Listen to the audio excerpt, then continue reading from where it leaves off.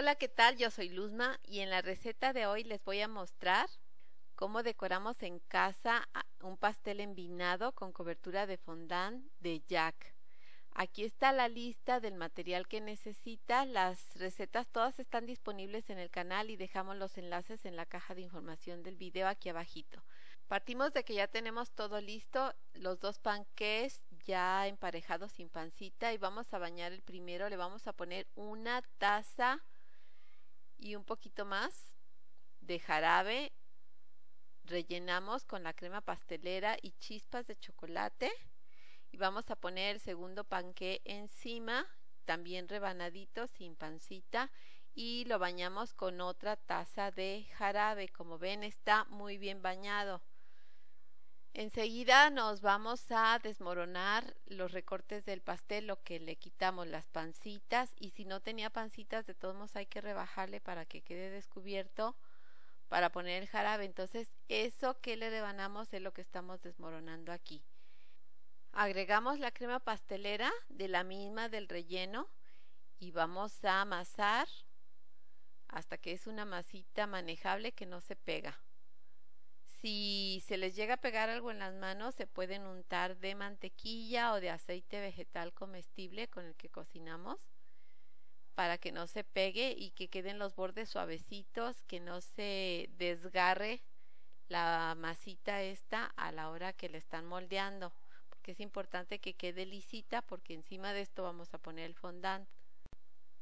Les recomiendo que tengan una imagen de, de lo que están haciendo hacia la mano. Yo saco una impresión de, del internet y la tengo a la mano para estar moldeando. Y esto hay que hacerlo lo más rápido posible porque tenemos un pastel bañado que se está remojando paso a paso y lo vamos a cubrir de fondant. Normalmente yo no hago un pastel cubierto de fondant que esté así de mojado al final les voy a enseñar por qué. Pero este va a ser para este momento. Ahorita mismo lo van a partir en cuanto esté listo. Bueno, en unas cuantas horas, en poquititas horas.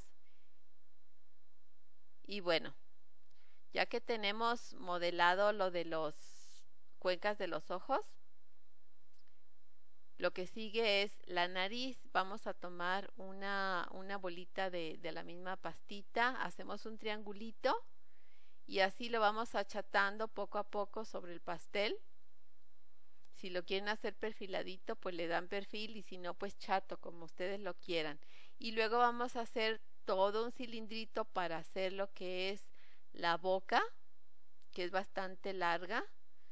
Aquí yo le fui poniendo por partecitas. Primero puse un cilindro grande en medio y luego le añadí las puntitas Solo hay que aplanar un poquito contra el pastel para que se quede bien pegado fijo y enseguida lo vamos a embetunar. Nada más vamos a tratar de darle una lisada, que se asienten muy bien las morusas y que se tapen los poros del pastel para que a la hora de aplicar el fondant quede lisito. Estoy usando betún de queso que queda delicioso sobre el pastel de chocolate y la receta como les digo la tienen disponible en el canal, el enlace está en la caja de información de este video. También los lados los vamos a embetunar. A la hora de hacer esto hay que apretar la espátula con el betún así como para que se meta bien entre los poritos. Siempre hay que apretarla bien.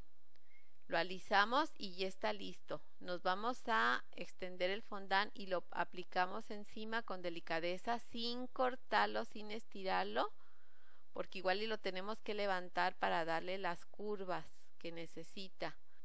En este tipo de aplicación de fondant lo que necesitamos es hacerlo muy rápido, lo más rápido posible, ir dándole oportunidad al fondant de que se acomode en los relieves y no cortarlo hasta que están todos los relieves listos porque ya me ha pasado que lo corto antes de tener los relieves bien definidos y luego me queda cortito el fondant porque aunque no se note se va recorriendo un poco. Ahorita como ya están los relieves altos listos ya ya se puede cortar el sobrante lo, lo detallamos el corte y ya no se va a subir para nada Lo que voy a hacer a continuación es marcar la división de los labios, o sea, aquí más o menos a la mitad. No tiene unos labios muy bonitos porque están muy cosidos. Pero hay que marcar muy bien los relieves. Si no tienen este tipo de herramientas, pueden usar lo que tengan a la mano, nada más que no corte. Inclusive lo pueden hacer con los dedos. De hecho, pues la mejor herramienta que tenemos son los dedos, las nuestras manos. Y lo que tengan a la mano, un acocador, un delineador, un, un lápiz, la gomita de borrar del lápiz también sirve al principio cuando uno no tiene herramientas. A continuación lo que vamos a hacer es pintarlo. Yo estoy usando pintura vegetal comestible. Esta es en pasta, pero puede ser en gel. Tiene casi la misma apariencia, nomás la pasta es un poco más, más firme. Yo le pongo vodka, entonces voy mojando el pincel con el, con el vodka y tomo algo de la pintura, lo descargo y ya a pintar.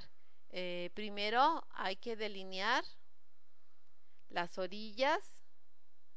Como el pincel es un poquito ancho, bueno, la, la, la orilla que estoy delineando también es ancha y después rellenar lo del centro, que es lo más fácil. Ya rellenar, entonces vamos a delinear los dos, los dos cuencas y aplicamos la pintura.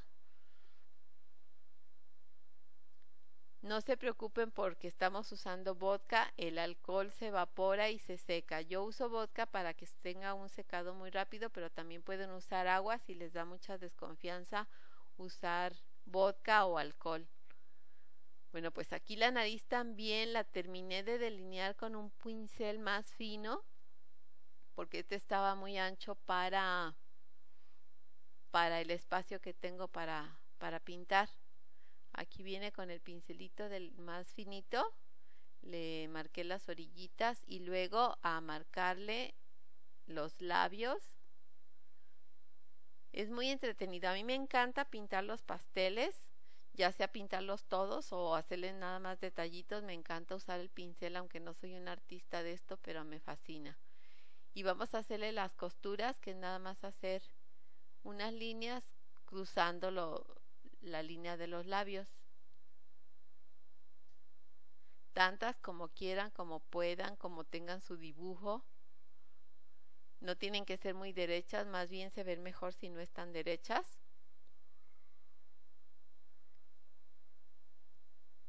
Y esta ahora sí ya tiene aspecto de Jack. Aquí a este pastelito lo vamos a trasladar a la charola donde ya se va a ir. Es una charola con canalitos porque el pastel es húmedo y va a escurrir. Ya nada más lo, lo detallamos con un alisador para fondant. Y este pastel, van a ver, ahorita se los voy a mostrar. Este ya tiene aquí casi dos horas y se empezó a colgar un poco el fondant por la humedad se está como despegando. Es normal porque el pastel está muy bañado. Si estuviera muy poquito húmedo, a lo mejor sí aguanta unas horas más. Pero o, si es para el día siguiente o si va a ser un pastel de pisos, no, les, no les recomiendo que lo bañen en absoluto porque puede pasar una tragedia pastelera. Y desde mi cocina mando un cariñoso saludo a Laura Moreno que nos ve en Las Vegas. Muchas gracias y por favor si les gustó el video, el tutorial, regálenos un me gusta, déjenos sus comentarios. Si no están suscritos al canal, suscríbanse y también estamos en Facebook para que vayan a darse una vuelta para allá y nos vean. Un abrazo, bye.